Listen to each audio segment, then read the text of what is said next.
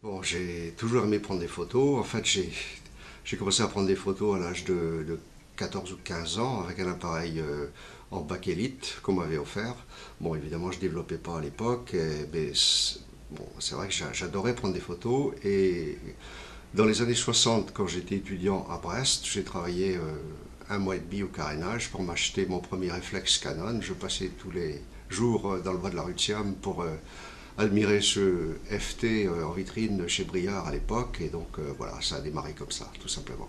Bon, je me suis intéressé euh, tout d'abord à mon environnement immédiat, c'est-à-dire la vie des gens que je connaissais depuis l'enfance, les goémoniers de la côte du, Léon à Plouescat, les gens de bord de mer. donc ça, j'ai fait ce, travail-là, je l'ai poursuivi pendant facilement une, une dizaine d'années, peut-être pas une dizaine d'années quand même, puisque ça s'est brutalement arrêté dans, la région de Plescat euh, au milieu des années 70.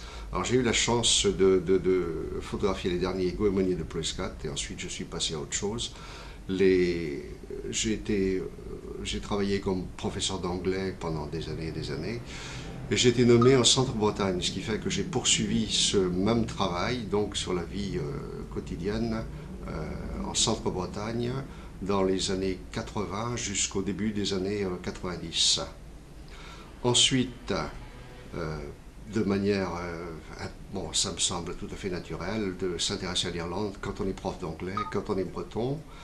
Je suis allé en Irlande et là, euh, j'ai travaillé de la même manière, donc pendant une bonne quinzaine d'années, en retournant en Irlande deux fois par an. Et j'ai eu l'occasion d'y travailler trois mois d'affilée, deux fois, en 1982 et en 1990. Alors c'était un pays qui bien sûr, était très différent de l'Irlande que l'on connaît à l'heure actuelle. Euh, j'ai retrouvé un petit peu la Bretagne de mon enfance. Je pense que dans le cas de la, Bretagne, de la Galice, euh, de l'Irlande et d'une certaine manière de la Pologne également, c'était des, pays euh, en, transition en quelque sorte, c'était une vie rurale qui, était profondément modifiée. Et je crois que tous les photographes, qu'ils en soient conscients ou non, sont ont des obsessions et on poursuit nos obsessions. Et je crois que l'enfance en particulier joue un rôle capital dans, dans, dans ce qu'on recherche. Et je crois que c'est ce que j'ai fait. J'ai essayé de retrouver d'une manière ou d'une autre cette, ce climat que j'avais connu euh, donc, durant ces, ces années d'enfance bon, je n'ai pas photographié que les pays dits saltes. Hein. Je ne veux pas être le, défenseur d'une espèce de panceltitude. C'est pas du tout, euh, pas du tout mon propos. Hein. Euh, non, je suis allé en Pologne parce que j'avais envie de voir autre chose que les pays de, l'Ouest. Bon, mon grand truc, c'est l'arc atlantique, hein, c'est clair. Mais là, je voulais voir vraiment autre chose et ça n'a pas été facile en Pologne. Tout simplement parce qu'il y avait la barrière de la langue. C'était un pays qui sortait du communisme. Euh, les gens étaient à l'époque relativement méfiants encore. C'était pas du tout facile du tout. Donc, euh, je parle anglais, je parle euh, espagnol. Donc, dans ces pays-là, il n'y a pas de souci. Ben, alors, en Pologne, il fallait parler soit russe à l'époque, soit allemand, que je ne parle pas. Donc, les contacts ont été relativement difficiles. Alors, ce qui m'a intéressé, et là, c'est peut-être au point de vue du breton encore qui a connu les pardons en Bretagne, etc., ce sont les pèlerinages et l'influence de la religion en Pologne. Et il y a des, des fêtes euh, absolument extraordinaires, en particulier la fête de Grabarka dans l'est de la Pologne, où se retrouvent tous les, les orthodoxes euh, polonais, donc qui célèbrent le, je crois que c'est la fête de la, de la, de la, de la, de la Vierge le 8 août. Et donc ils passent toute la nuit en prière avec de petites, euh, de petites euh, bougies à la main. C'est assez. C'est déjà, c'est déjà la Russie. Tu as été aussi en Angleterre. Oui, alors c'est normal. Ça, c'est ta, vie prof J'étais prof d'anglais. Donc, je suis allé en Angleterre plusieurs fois. Et là, en fouillant dans mes archives, j'ai réalisé une maquette de photos qui doit comporter pas loin de 110 photos, donc sous forme de, maquette de livres. Et là aussi, ce qui m'a intéressé, c'était, bon, je crois que c'est une certaine euh, vision de la photo anglaise, Bill Brunt et tout ça. Je suis allé dans, le nord-est de l'Angleterre, photographier les derniers euh, euh ou sea callers, donc les ramasseurs de charbon sur les plages. tout ceci, bien sûr, est, terminé. Les mines ont fermé. la côte a été réhabilitée. Et donc, du côté de Siam, c'est près de Newcastle, là où je suis allé photographier ces gens-là, on pataugeait dans une boue de. C'était un mélange de boue et de poussière de charbon. C'était absolument abominable. Les gens chargeaient le, le charbon dans des sacs qu'ils mettaient sur des vélos.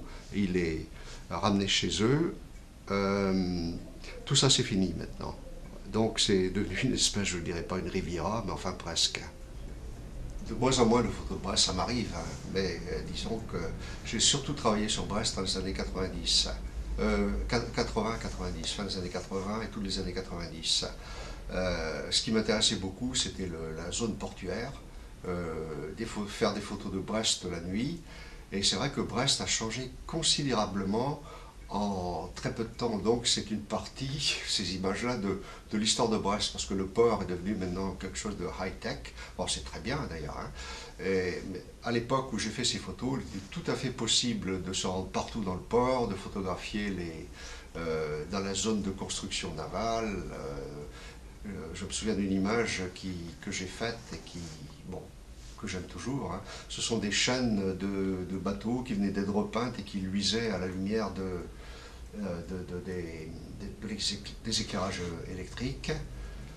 Voilà, donc pourquoi Brest? Parce que c'est la première ville que j'ai connue. Quand j'étais gamin, je venais à Brest, on prenait le car à...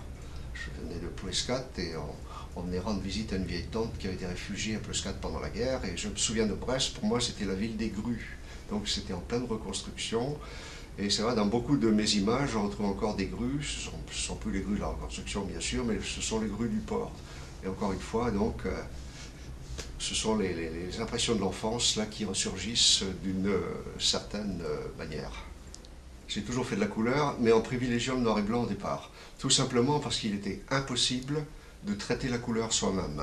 Bon, on pouvait faire du cibachrome à l'époque, mais c'était si compliqué que Bon, c'était relativement décourageant.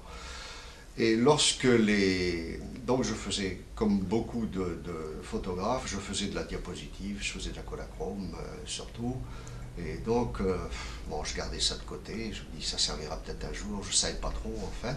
Et du jour au lendemain est apparu le numérique, les scanners haute définition film, alors là, la couleur a pris du sens. À partir de ce moment-là, donc j'ai commencé à rescanner mon travail couleur, à faire de plus en plus de prises de vue en couleur et à pratiquement abandonner la prise de vue en noir et blanc pour, depuis très peu de temps, passer au numérique, à la prise de vue numérique qui me pose des problèmes je n'ai jamais été aussi heureux qu'en scannant avec un scanner film des, diapositives.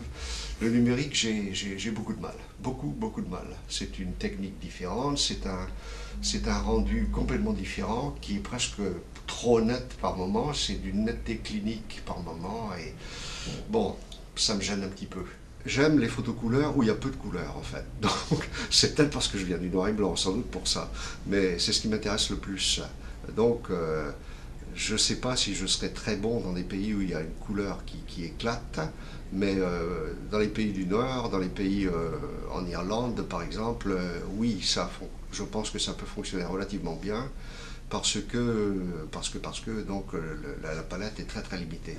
C'est vrai que, étant passé au numérique et à la couleur, bon, on fait des choses forcément différentes il y a aussi le fait que ce que j'ai pu faire dans les années 70 et 80, on pourrait plus le faire maintenant parce qu'on est, on est entré d'une certaine manière dans l'ère du soupçon. Et dès que les gens voient un appareil photo braqué sur eux, bon, c'est vrai, ils ne ils veulent pas être photographiés. Euh, c'est très très très difficile maintenant. Il faut l'état d'autorisation, c'est très compliqué. Donc ce genre d'image, peut-être un peu humaniste, euh, bon, je crois que c'est derrière moi ça. Du moins en France. Ailleurs, non. En Espagne, on peut toujours travailler comme ça. En France, non, c'est fini.